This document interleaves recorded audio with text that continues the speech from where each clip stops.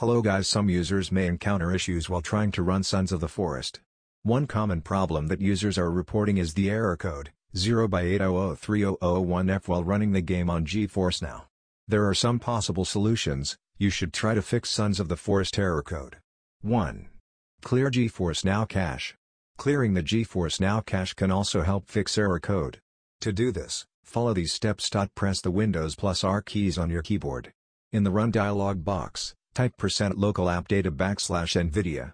Corporation backslash GeForce Now and hit enter. This will take you to the GeForce Now cache folder. Delete the entire folder. Restart the GeForce Now app and launch the game again. 2. Run game in compatibility mode.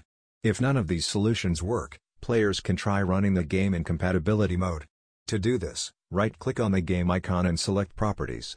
From there, Select the Compatibility tab and check the box that says Run this program in compatibility mode for.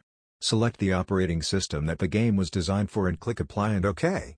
This will run the game in compatibility mode, which can help to resolve any issues that may be preventing the game from running.